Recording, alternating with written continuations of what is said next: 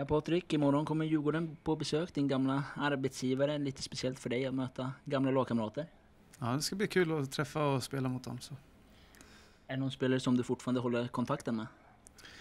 Eh, lite mindre med några, men eh, de flesta blir det nog jag träffar första gången sedan träningsmatchen i, i vintras. Djurgården börjar hitta formen nu, två raka segrar. Hur ska vi göra för att besegra dem?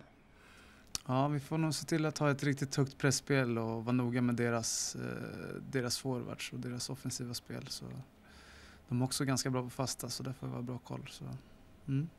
För egen del, blir det högerback eller mittback imorgon? Ja, vi har inte fått laget så jag har ingen aning faktiskt. Vad talar för ÖSK seger imorgon då? Ja, vi spelar lite mindre bra några matcher nu och vi pratat mycket om att vi måste jobba för varandra så där. Så det känns som att vi är på väg att vända den. Trots att vi har tagit rätt mycket poäng på slutet så är vi inte nöjda med prestationen. Så förhoppningsvis är den på väg upp igen. Och imorgon står du för musiken. Blir det någon rock'n'roll? Jag har blandat ganska friskt för att eh, alltid någon ska tycka någon låt är bra så vi får se